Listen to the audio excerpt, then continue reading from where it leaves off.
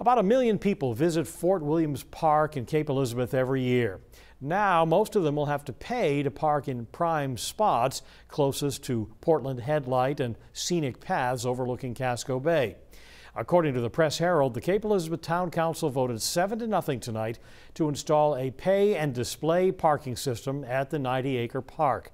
The decision was driven by increased tourism and rising maintenance costs. So beginning in July, visitors who park in the premium parking areas will be charged $2 an hour for a two hour minimum or $10 for a full day. Three parking areas near the rear of the park will remain free to all visitors. Residents of Cape Elizabeth will be able to park for free with car parking stickers. Those kiosks will operate from May 1st to November 1st.